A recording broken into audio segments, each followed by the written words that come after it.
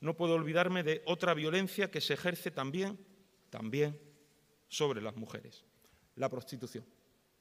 Una explotación que hemos llegado a normalizar en nuestros hábitos y en nuestro lenguaje. Y yo quiero una Andalucía que acabe con la prostitución.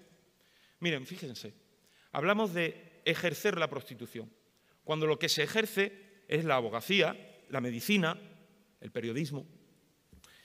Pero resulta mucho más fácil hablar de ejercer la prostitución, de ejercer una supuesta profesión que no es tal, porque la explotación de una mujer no puede ser ninguna profesión. Hablamos de clientes y de consumir prostitución. Y miren, lo que se consumen son bienes, son servicios, y el cuerpo de una mujer no es eso, no es un bien ni un servicio.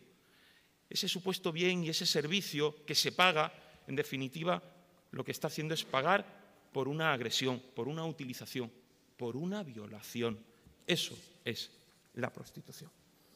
Y yo quiero una Andalucía que las despedidas de soltero entre los amigotes luego no terminen yéndose de putas. Yo quiero una Andalucía en la que un trato no termine cerrándose en un puticlub. Yo quiero una Andalucía en la que no me encuentre puticlubs en nuestras carreteras. Esa es la Andalucía que yo quiero. Eh, muy buenas, portavoz. En directo para Siete al Día. Eh, le quería preguntar, en Soria se han anunciado unos cursos en el que se dice pues, que hay que pintarse el toto. Básicamente ese es el nombre de estos cursos. Su representante en Castilla y León ha dicho que esto pervierte a las adolescentes. ¿Usted está de acuerdo con esta afirmación? Y si esto daña la relación con el Partido Popular, ya que ellos no han sido tan vehementes, si me permite la expresión, en este juicio. Y después el portavoz eh, socialista Sicilia ha dicho que quiere una Andalucía sin prostitución, en el que pues las personas no se vayan después de una despedida soltero a un prostíbulo. ¿Cómo valoran estas declaraciones? Y por último, perdone, si quiere aprovechar esta rueda de prensa para decirle algo a Jorge Javier Vázquez después de las, el cruce de acusaciones que han tenido en Twitter. Muchas gracias. Muchas gracias. Mire, cuando leo esas noticias de, esos cursos que no venía a reproducir el nombre porque me produce vergüenza ajena, eh, a veces cuesta creer que esto suceda en el ámbito gobernado por el Partido Popular. Cuesta creer, pero es así. Y desde luego esa es una de las grandes diferencias que hay y que habrá entre el Partido Popular y Vox. Nosotros nunca avalaremos ese tipo de tonterías.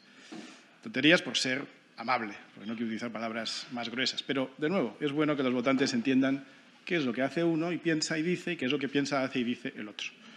Por lo tanto, lo que ha dicho nuestro portavoz y futuro vicepresidente de la Junta de Castilla y León, es exactamente lo que suscribo.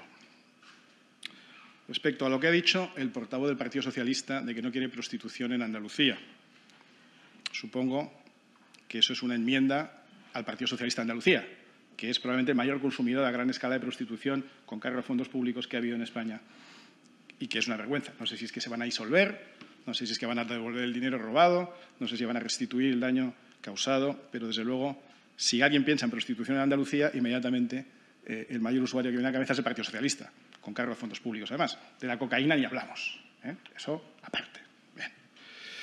Y respecto al tercero y el sujeto que usted menciona, como esto es una sala de prensa seria, no voy a, no voy a, ni a nombrarle ni a contestarle.